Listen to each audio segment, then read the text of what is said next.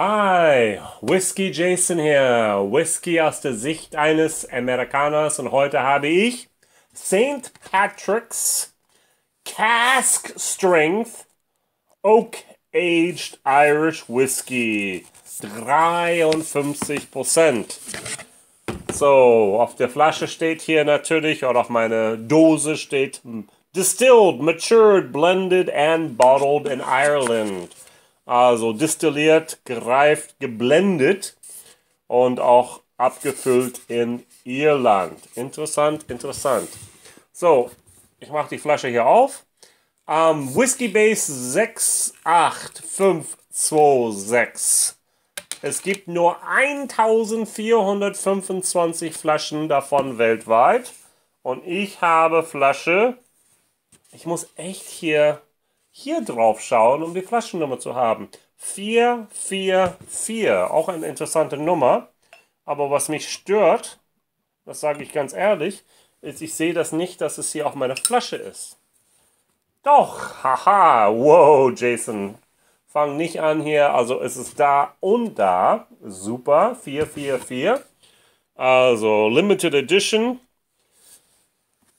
ich lese, was hinten drauf ist. Habe ich noch nicht. Ich bin echt schlecht vorbereitet. Aber was ich weiß, ist, es wurde in First Fill Bourbon Fässern gelagert. Und das wurde Best Irish Cast Strength 2016 gekürt. Nicht mehr mein Lieblings Writer's Tears, oh, das ist ganz schon weit hinten, sondern das hier, St. Patrick's Cast Strength, hat gewonnen. Und das wird gesourced von Middleton. So, handcrafted in small batches using traditional techniques. Also hand angefertigt in kleinen Chargen, indem man traditionelle Techniken oder Methoden benutzt. Craft distilled in Ireland with grain and malted barley using naturally soft water. So, um, also klein, also Craft ist dann, ach, klein, kein Großbetrieb, sondern Kleinbetrieb destilliert in Irland mit dieser Grain und Malted, Malted Barley, also Getreide und gemälzte Gerste, zusammen mit dem weichen Wasser. Patiently matured and carefully selected and numbered first filled barrel bourbon barrels, each bottle is individually numbered. Geduldig gereift in bewusst oder sorgfältig ausgewählte und nummerierten First Fill Bourbon Fässern. Jede Flasche ist individuell nummeriert. So, sehr, sehr schön, sehr gut. Altersangabe gibt es hier irgendwie nicht. Deshalb sage ich jetzt hier, das wird wahrscheinlich so ähnlich sein wie der ganz normale Irish Whiskey. Drei Jahre alte Grain, zusammengemischt mit wahrscheinlich so bis zu 21 Jahre alte, ähm, bis zu 21 Jahre alte Malts. Aber das schreiben sie auch nicht hier drauf. Sonst das mit einem 21 Jahre alten Maut würde ich ganz, ganz groß schreiben. Also von daher ist es auch nicht. Ha. Da steht nichts mehr hier drauf. Non-chilled filtered, ganz wichtig. Aber wegen Farbstoff steht auch hier nichts drauf. Ähm, immer wieder steht ähm, Enjoy alcohol responsibly. St. Patrick's Distillery, Cork, Ireland genieße Alkohol mit Verantwortung und würde auch hergestellt in Cork, Ireland. Was sagt meine Nase? Oh, übrigens, ich habe ein bisschen Wasser hier. Das werde ich auch gut gebrauchen, weiß ich jetzt schon. 43%, 53%. Uh, wow. Wenn das wirklich der beste, beste Fassstärke Whisky ist Irland 2016, mache ich eine kleine Fragezeichen. Denn ich habe enorm viel Ethanol, also wirklich so, so Brennspiritus in der Nase gehabt. Vielleicht habe ich einfach nur zu stark daran gerochen, aber bei meinen Writer's Tears Cast Strength 2016 habe ich es nicht gehabt. Uh, das schreit nach Challenge, nicht wahr? Gut, was mache ich jetzt hier? Ich schaffe ein bisschen Platz. Also, denn diese Monster hier braucht immer Platz. Ich betone ganz groß Monster, also versuche ich das erstmal hier gut hier rauszukriegen. Ähm, ich tue es einfach zur Seite hier. Ähm, ihr seht das, kommt auch ganz bewusst hier rüber zur Seite. Ähm, Writers Tears 2016 Abfüllung 2640 Flaschen. Auch genauso 43 Prozent. Also das sind schon ähm, ebenbürtige Gegner. Hier habe ich die Flasche 1822, äh, 1820. Hier habe ich die Flasche 444. Coole Nummer übrigens. Ich habe nicht gedacht, dass ich heute einen Vergleich mache. Uh. Diese Alkohol habe ich nicht in der Nase zuerst. Hier habe ich Alkohol. Also wirklich schade. So, ähm, wenn das ein Kriterium wäre für mich, das wäre schon ein K.O.-Kriterium. Für mich, Whiskey Jason. Kann man fast noch nicht mal sehen.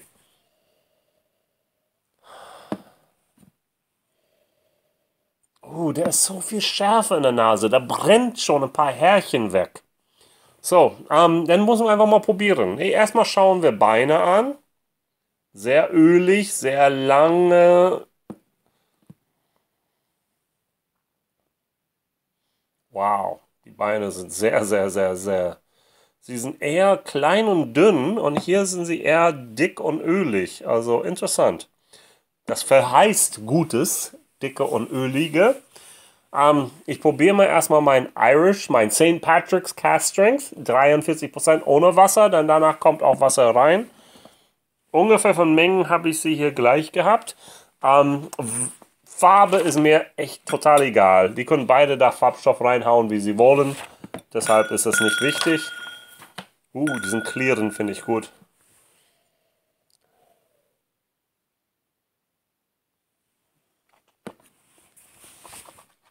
Mm. Wow, der ist echt jung. Mmh, zum Schluss ist er gut. Wow. Mmh. Und ich bleibe bei diesem ölig. Der ist echt gut. Mmh, am Ende. Und das für 43, 53 Prozent. Aber am Anfang kommt er rein und sagt, Hallo. Schade. Bisschen Wasser zwischendurch. Das hat mein meine Zuschauer zu Recht bemängelt, dass ich so schnell wechsle von Glas zu Glas. Ich gebe mir genug, nicht genug Zeit, um meinen Mund sich daran zu gewöhnen, um was anderes zu trinken.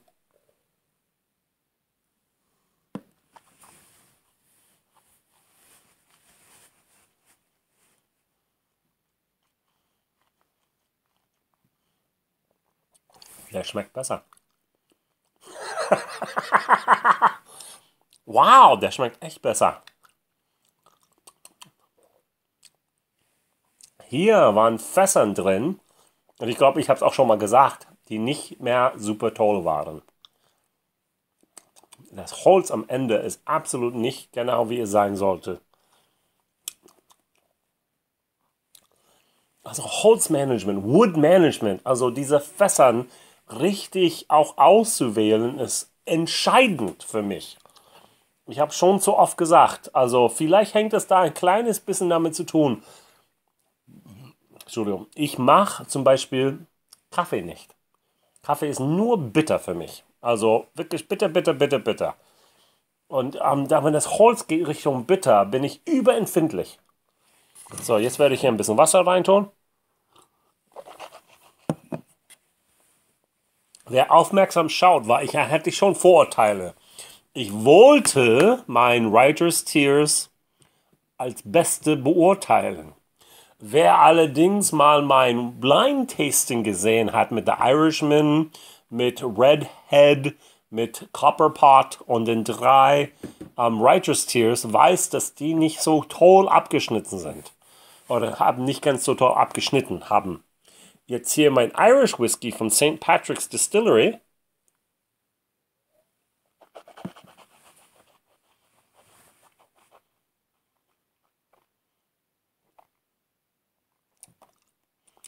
Schmeckt eindeutig besser. Mm, am Ende, wo ich am Ende gesagt habe, oh, ah, ah, ah, ah. Hier war wirklich so viel zu erwarten.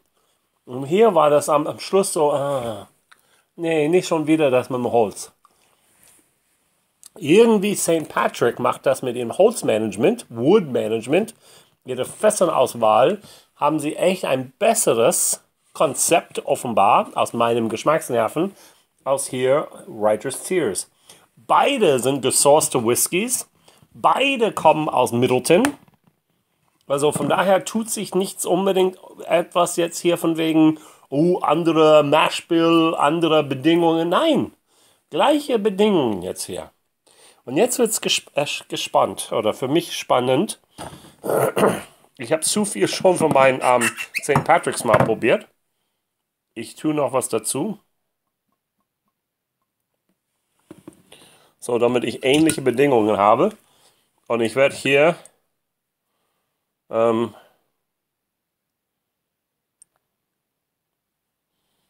so ziemlich genau 0,5 da reintun.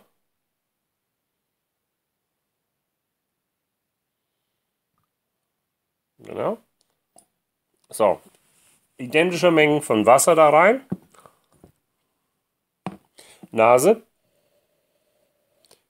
immer noch scharf, immer noch ein bisschen bissig, ein bisschen noch benzinartig. Oh, jetzt kommt da Birne ohne Ende durch. Das ist sowas von schön. Oh, das gefällt mir. Oh, da habe ich sogar noch ein kleines bisschen Haselnuss dazu. Oh, oh, das ist schön an der Nase. Bissig. Interessant. Also von Nase gewinnt mein Writer's Tears schon zweimal.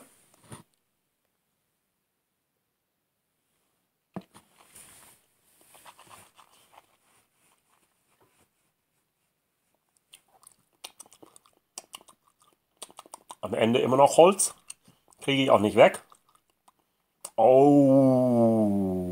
Mm -mm. Oh, gebranntes Holz. Also, mm wow, da brauche ich echt ein bisschen Wasser zwischendurch.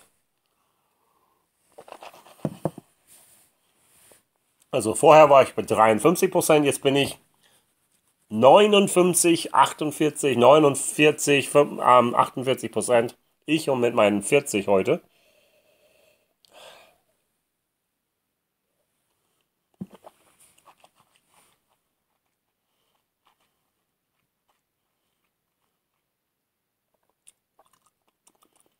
Mm, mm. Immer noch. Mm. Also der wird ein Tick bissiger, finde ich, mit Wasser jetzt momentan. Ähm, er war auch vorher bissig, aber der wird noch bissiger. Interessant. Also der wird gar nicht gezähmt. Deshalb kommt noch einmal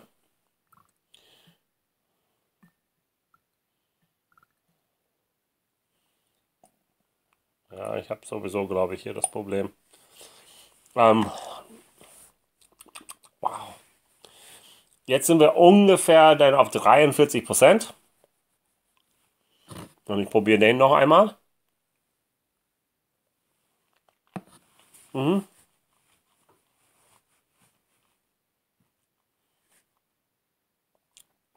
Mhm, 40, 43 Prozent. Mhm, ungefähr richtig. Jetzt ist er perfekt. Besser kriegt man den Writer's Tears nicht hin. Aber da ist immer noch ein bisschen an Alkohol da, da ist ein bisschen Biss dann da. Ein kleines bisschen ist Holz im Hintergrund, wobei der verschwindet jetzt hier, wo er verdünnt wird. Das ist nicht mehr so dominant wie vorher. Aber ganz, ganz zum Schluss ist ein kleines bisschen das noch da. Absolut super. Also ich mache den genauso. Richtig, richtig schön.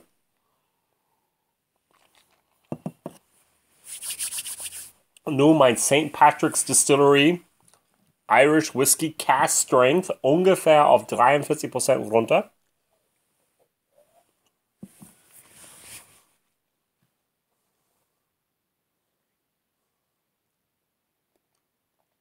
Hm. Immer noch besser. Und das, was am Ende kommt, ist einfach süffig, schön, ölig. Eine Wonne echt, oh, ist das gut. Und oh, der ist auch fast perfekt denn dabei. Also vielleicht hätte ich den Single Mode auch ein bisschen Wasser da rein tun sollen gestern mit seinen 46%. Vielleicht auf 43 oder 40% hätte er mir besser geschmeckt. Das weiß ich nicht. Habe ich nicht gemacht. Oh, der ist einfach gut. Kein Wunder, dass er gewonnen hat. Leute, ihr habt genau richtig äh, gewählt.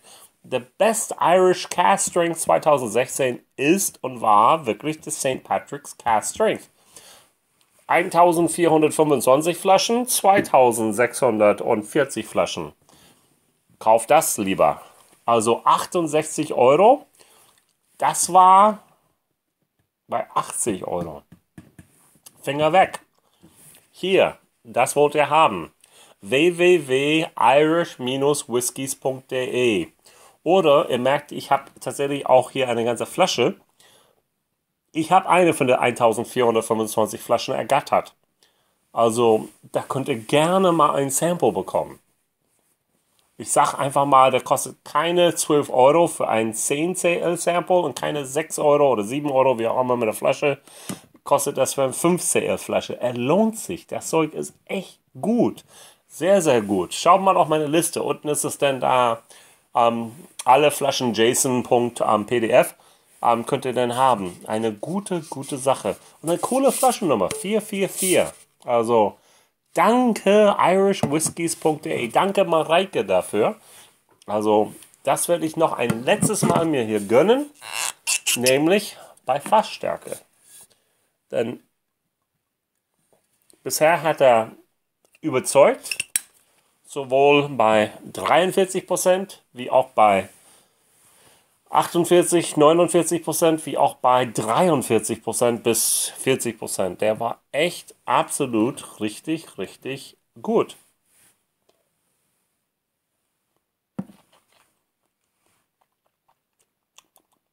Mmh. Immer noch gut. Vanille, Holz, Gerste. Nicht viel mehr. Bisschen Frucht dazu. Ähm, ach, ich kann das heute Abend nicht mehr benennen, alles, was ich habe. Aber absolut schön. Ähm, richtig, richtig, richtig nettes Zeug. Zu empfehlen. Also, ähm, St. Patrick's Cast Strength. 2 plus. Uh, ich glaube, ich habe ein. Ja, ja, ja noch. Ein, eins minus glaube ich noch nicht, aber 2 plus. 6, ähm, 68 Euro. 3 plus bis hin zu 2 minus. 2 minus. Cast Strength 1. Limited Edition 2. Drittens, eine neue unabhängige, naja, unabhängige, eine neue Distillerie, die selbst abfüllt. Viertens, Best Irish Cast Strength Whiskey, um, Strength, Cast Strength Whiskey 2016. Also viele Gründe, den zu probieren. Also wirklich, wirklich hier gute Sache. Vielen Dank, dass du zugeschaut hast. Liken, abonnieren, auf meine Amazon-Seite klicken und was anderes kaufen, zu irishwhiskey.de hingehen und das dann kaufen oder auf meine Sample-Liste auch selbst eine Sample gönnen, ob es eine 5CL ist oder ob es eine 10CL ist. Alles ist machbar. Vielen Dank, dass du zugeschaut hast und bis morgen. Tschüss.